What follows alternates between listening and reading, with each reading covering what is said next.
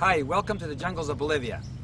I've been here for about three weeks up in the Andes Mountains in La Paz, to the border of Peru, across here working on some media projects, working with government, health officials, the governor, and also uh, foreign relations in order to be able to develop opportunities for service in this country and to be able to help somebody. The other day, we heard about a tragic event. Three little children got burned. And we were so glad that our Aerostar, along with Captain Herman, were uh, on near the site in Guayra They flew across and brought the three children. I want to show you a few a little video here of what has happened, and I want to thank you for being part of this beautiful Adventist medical aviation program of Gospel Ministries International. This is just a little spot in a lot of my travels, but we are so grateful to have equipment and people that can be there in times of emergencies. God bless. Hi, my name is Herman Gonzalez, and I fly for Gospel Ministries International in Bolivia under their Adventist Medical Aviation Program. Um, I was flying the Aerostar up to Guayaramerin, the school, when I received a call uh, Sabbath afternoon. I was asleep and there was an emergency that three kids had been uh, burned. And uh, I and a doctor got on a motorcycle and uh, rode into into town and um, to the airport, got in the Aerostar and flew as fast as possible to Rurrenabaque. As we landed there, the ambulances were waiting for us and we quickly ushered the three kids and their families aboard the airplane. And then we made a two and a half hour flight to Santa Cruz, uh, to the international airport where we dropped off the kids and, and their families and they were rushed to the uh, children's hospital there.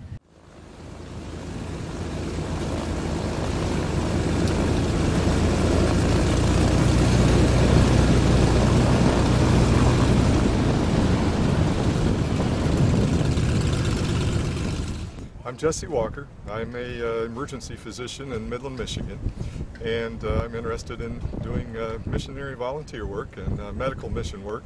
I'm also a pilot and interested in uh, combining those uh, skills and working for Jesus in that capacity. And yesterday we were up at, at Guayada. And uh, we were actually going to go visit a village uh, and walk uh, nearby uh, but we did uh, uh, got a phone call just as just before we were to, to walk away from the school there. and the phone call was for a medical emergency. three children were badly burned. And so we quickly threw our things back into our bag and uh, three full-grown men on a one motorcycle, two backpacks, and away we went 22 kilometers uh, to the airport. And uh, once we uh, arrived there and uh, were able to uh, take off in the airplane and head over to Rurre to pick up those children. And unfortunately one of those girls was, was very badly burned. Apparently they were playing with some sort of a uh, bottle of alcohol. I'm not sure uh, what the details were, but they were by a, a, a, a open flame by, by a cook stove, and the, the, the, alcohol caught fire. And so the, from the evidence that I could see, it looks like there was a big fireball that the children were caught in. And uh, more than just those three children were burned, but some of them were uh, minor and, and, stayed behind. Uh, but then we were able to uh, get them back to Santa Cruz in a fairly short time. So within probably six or eight hours of the event, we were able to have them evacuated to uh, Santa Cruz where they could uh, receive definitive care. Uh, and so that was a real a tragedy for those children, but we were glad that we could be there to help them. We arrived at the airport about 7.30 or 8 p.m. I think. Uh, and it was amazing. There was a line, there were, there were police there, there were flashing lights, there were ambulances there.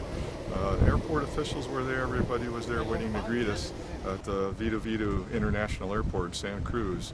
So uh, it was it was quite a spectacle, uh, and it took many people to uh, to coordinate all of that. Uh, uh, specifically, I know of George, who runs a medical house there in Santa Cruz, was able to make the medical arrangements there in the city. Uh, and uh, uh, Jeff Sutton, of course, was able to make flight arrangements and things like that for us and deal with the airport. So they were expecting us as we arrived.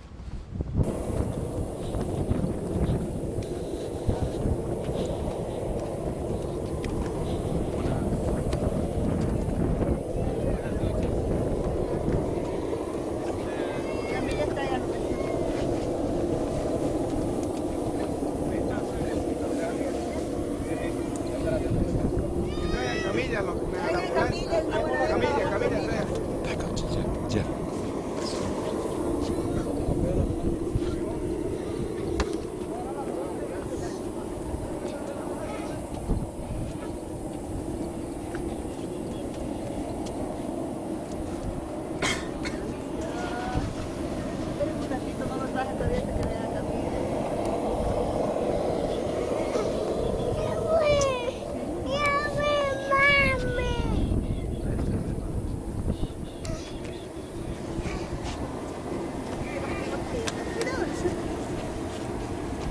Yo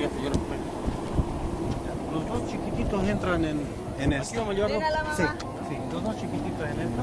Ah.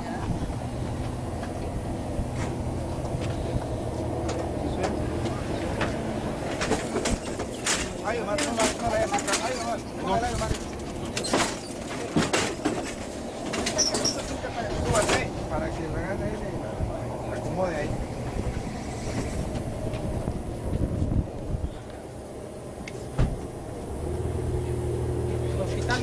Al hospital